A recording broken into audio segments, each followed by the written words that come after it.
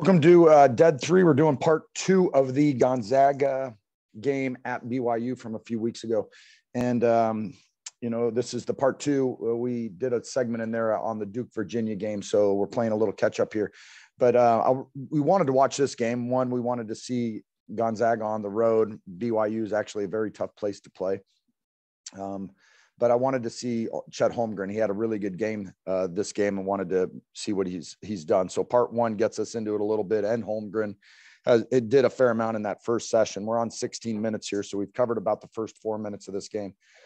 When we get into the second half, I watched a little bit. I'm not second half. The second part here, we have seen a number of. Uh, I've seen a few things already from um, Chet Holmgren, but they get into a diamond or a one-two-two press which is great when you have seven foot and 6'10 on the back line to cover mistakes, right? Um, I believe Holmgren's about to get a block here. But what I do like what BYU does here, they're deliberate, they engage too, they're able to pivot and make plays and change the floor against the press. And then right here, Timme's going to let them shoot it. So you have to understand against a press what teams are trying to do. They're trying to speed you up. They're trying to get you to take quick shots. They're trying to keep you away from the basket if at all possible right? So right here, they they broke the press, but they're also taking a quick three. Now, if you make this shot, you know, you can slowly start getting them out of the press and start getting to the rim and taking away what they want to do, which is, you know, to stop you from getting to the paint and to the rim and to get you to take these shots. So you got to make them if you're going to take them.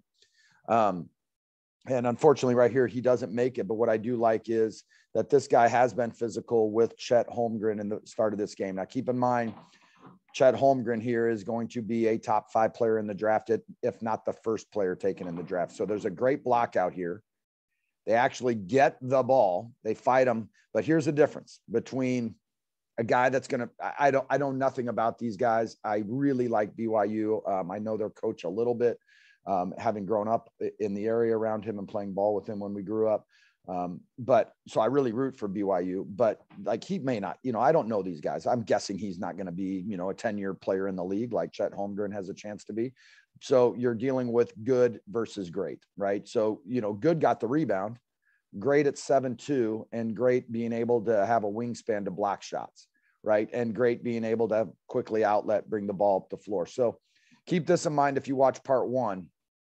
One for my group, this is what we talk about every single workout that we do and every practice is how do we get extra shots extra shots? How do we get extra opportunities? One it's on the weak side of the floor.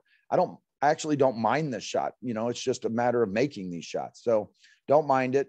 Timme's rolling out to hit them um, we do get the block out but it, this is the weak side. I you know i hope that we're we've got two on the weak side. We're getting a seven foot two guy. We're not great uh, in attacking there so but then quick outlet doesn't change the floor with the dribble, and that's fine. You have a big as a rim runner, you have a big as a trail. He brings it right back to him, drib, kind of the fake dribble handoff right here, right? You don't get the dribble handoff. You're thinking you're going to get it, but he splits it.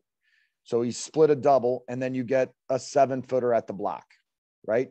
So keep in mind what we're looking for here drift, kind of maybe getting to this open area here maybe sliding to get in line of vision here and sliding to the top of the key, right? Which is what we get, right?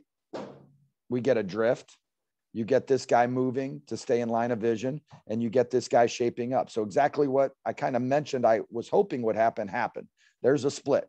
Watch, drift, shaping up to the top, shaping up to vision, right? So, we always have somebody shaping to the top and shaping to vision and shaping to the baseline, right? So, baseline, 45 top kick. Now, because let's see where this guy even came from. Look, so you know somebody he he went he helped off of Timme to go help. He helped the helper. He's jamming down to the drift because we're moving when the ball's on the when the ball's on the floor and we're not always standing and we're spaced to three we get that shot on a closeout on a two three step closeout we get a wide open three right? And look, just small things. Watch Holmgren. He does not concede the block out. He puts his hands, he bats, you know, he kind of pushes his hands down. He's fighting to get level, although he's not level. He's fighting to get level and own all that. But you get the wide open three because this guy's relocating. Okay. So we get that. So now we do dribble handoff, dribble handoff, back cut. You know, I like what they're doing here, right? And then there's a foul, but I like what they do on the out of bounds play here a lot because um, I've seen this. Watch what BYU does here. They have some really good specials, right? So we're, they're going to get their best, which is 13, right? Um, and I, his name's escaping me right now, but I love this idea of a ball screen to a roll to another ball screen and to change a direction. There's a ball screen, not a great one by any stretch. Is that great? Dribbling with his right, which is interesting, but that's fine. I mean, he's a baller, right? He's doing it for a reason. He's playing it loose and protecting on that. He's going to roll, but look at 33, sprint up, roll to another ball screen. Now he goes downhill to his spot, right? And he's got him. Ball screen, not a great ball, you know, and there's these fake and, and false ball screens, a false ball screen where you just immediately roll. That's cool. I don't know if four really knows what he's doing here on this play right? But that's a ball screen. And it's not a switch because so they get Timme and Holmgren each having to guard the ball screen. Timme comes out, he gets to the elbow, he shows it. He's got a little fade and he gets it up. They hit it. Now keep in mind, BYU was up five to nothing. So Gonzaga went on a 12 to nothing run until that shot. So now it's 12 to 7, right? But here's the thing that that we want to watch because we do watch it with Michigan State and we do watch it with Duke and Gonzaga. Um, definitely, Michigan State seems to be, in my mind, kind of the king of this. But watch, Barcello, I think his name is. So he makes it. Look at Timme, gets it out fast. People are running fast, and three comes back, and then the outlet's up the floor. So Holmgren's the rim runner, rim runner, trailing big, dribble handoff to the trailing big, to the seal. Like for my group, hopefully you're watching this if you're my group, because this should reiterate everything we've worked on here in the short term, right? We've got an outlet, a change, uh, putting pressure on to a ball side cut, to a trailing big, to a seal. They could go high low, but Timme's also in a position to drive it and do a, a bunch of different things. Look, he's already motioning to pin down just to keep people away from Timme. So nobody just stops and watches. I don't think four can guard him.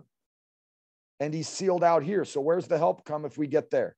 So you're getting an All American to the rim, right? He misses it, right? Live dribble, but you're getting an All American, an NBA first round draft pick to the mouth of the rim right there, right? And then you have the number one pick in the draft who's seven foot getting offensive rebounds because he's around the basket, right? So good on BYU though to push the ball and get the ball out as quick as possible. Again, there's a ball screen in transition, and they are look at for my group. Look at how they're just not catching and dribbling, right? So we've talked about this with our group. Baseline drive, help outside the paint, baseline drift, and he's their best. Are we spotted up over here? Are we spotted up? But this pass, tough to be in the air passing, tough to throw an air pass when we're flat on the baseline here because that happens. So our group, it's a baseline drive, baseline drift with a bounce. We want it below this guy's hands to get it to third. So then we get it. And now we're pushing in transition, trailing big, rim runner, deep runner, and runner, right? So they change it with the dribble, seal, big. Like, look at how the big just owns it. Okay. So now listen, I love this, right? Just to change over because everybody's running. You have your big already there. Like it's so hard to match up. But now we're hitting threes. And I feel for my man, Mark Pope, because I really like him and I like BYU a lot. Right. But here's the thing it's a 17 to 2 run against the number one team in the nation. It's a seven, you started five to nothing. It is a 17 to 2 run against the number one team in the nation, and you're on your home court. Shot selection, shot clock, post play, attacking off the dribble, second, third side of the floor, no offensive rebounds in terms of giving to Gonzaga. Like, what do you need to do to beat the best teams in the country when you're not the best team in the country? Now, if this is Duke, Duke can play this way and make these mistakes and take these shots. I don't think you can if you're BYU, right? And I could be wrong, you know. So there's the change. This this guy to a ball screen. Look at the spacing here. What are we doing here?